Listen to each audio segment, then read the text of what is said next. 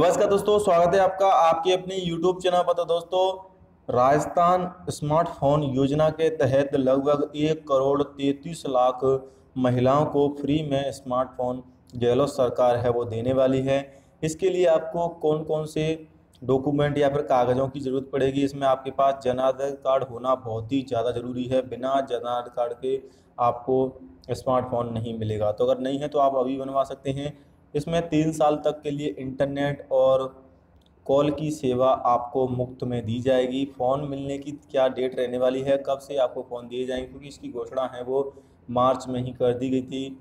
लगभग साढ़े सात हज़ार करोड़ रुपए में आपको स्मार्टफ़ोन मिलने वाले हैं। कितना बड़ा स्मार्टफ़ोन होगा?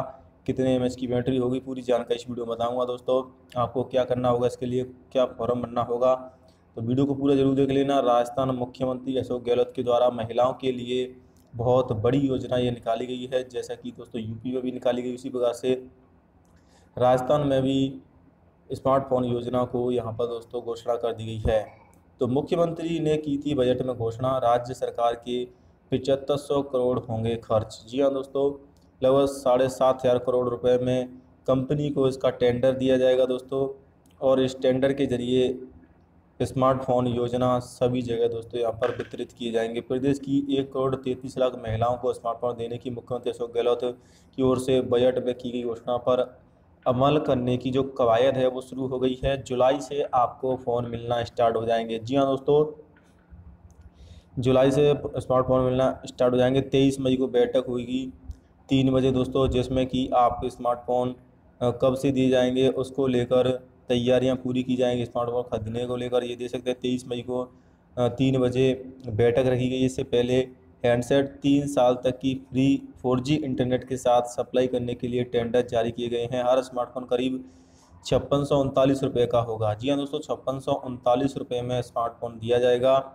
और इसकी दोस्तों घोषणा कर दी गई है, जुलाई से आपको फ़ोन वितरित करना सरकार है वो स्टार्ट कर देगी, क्योंकि दो हज़ार तेईस में चुनाव आने हैं, इसीलिए सरकार खासकर महिलाओं के वोट को अपनी तरफ़ करना चाहती है। तो इसके लिए महिला मुखिया को ही मोबाइल मिलेगा। सर, सरकारी मोबाइल फ़ोन परिवार की मुखिया महिला को दिए जाएँगे, जिनके नाम जनाधार कार्ड में हैं।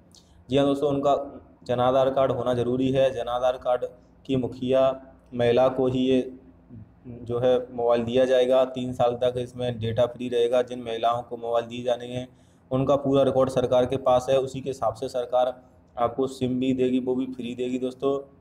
आपको उस फ़ोन में सरकारी ऐप भी मिलेंगे, जिससे कि आप सरकारी सेवाओं का लाभ प्राप्त कर सकते हैं। सभी प्रकार की आप उसमें शिकायत के भी आपको पूरे प्रोसेस दिया जाएगा। तो तेईस मई को बैठक होगी, जिसके बाद आपको कौन सी कंपनी मोबाइल सप्लाई करेगी, इसकी जानकारी तय हो जाएगी। तो दोस्तों, अच्छी खबर है। इसके लिए आपको फॉर्म अप्लाई करना होगा और आपके पास जन आधार कार्ड होना ज़रूरी है और उसमें नाम भी जुड़ा होना ज़रूरी है। तभी आपको स्मार्टफ़ोन राजस्थान सरकार के द्वारा दिए जाएँगे।